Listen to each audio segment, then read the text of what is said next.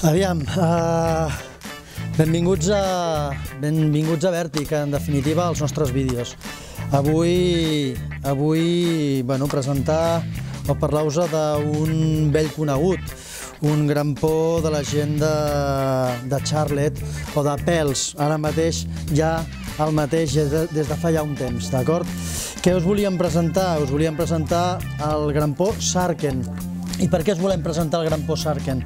Bé, el Gran Por Sarken és un gran por una miqueta particular perquè, eh, així com és un gran por per alpinisme de nivell clàssic, eh, què vull dir amb nivell clàssic? Eh, el que em refereixo bàsicament és que és un gran por que estaria construït eh, de, la de la mateixa manera que els grampons clàssics, vol dir que tota la part frontal i tota la talonera és una sola peça. Aquest gran por incorpora unes puntes avançades en forma de serra. Vol dir que són unes puntes tècniques, que estan soldades sobre el que podríem dir un grampó clàssic. Què ens dona això? Ens dona una eina que seria útil per escalar en per alpinisme, és una eina forta, és una eina que pesa aproximadament 500 grams, i que la podem trobar en diferents modalitats, però que a les botigues Vèrtix, bàsicament, les trobareu amb un sistema semiautomàtic, vol dir apte per muntar amb botes que només tindrien tanca automàtica a la part del darrere, d'acord? Això ens és, ens és apte per bota semiautomàtica, d'acord? I grampó automàtic que ens serviria per a bota amb tanca davant i darrere.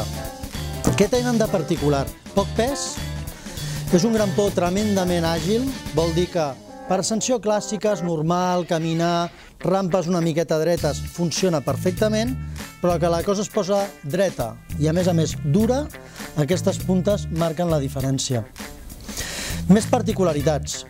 El Gran Por incorpora un antibut, però no és un antibut qualsevol. És un antibut que funciona francament bé, vol dir que expulsa molt bé la neu, però que a més a més és molt sòlid, de manera que quan caminem per terrenys on no només hi ha neu, sinó que ens trobem pedra, l'antibut no el rebentem fàcilment. És un gran por molt incisiu i a la, manera, a la meva manera de veure molt lleuger. Parlar de 500 grams d'un gran por com aquest i a més a més la capacitat de reduir-lo en volum ens permet posar-lo i portar-lo dins de la motxilla de manera molt fàcil.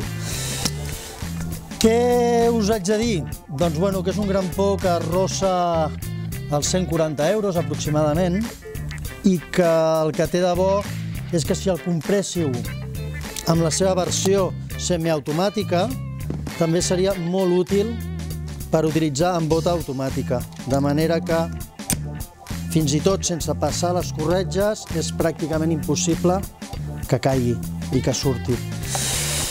Poca cosa més. El dia que portes una cosa com aquesta als peus, doncs, francament, et dones compte de que pots anar una miqueta més enllà, d'acord?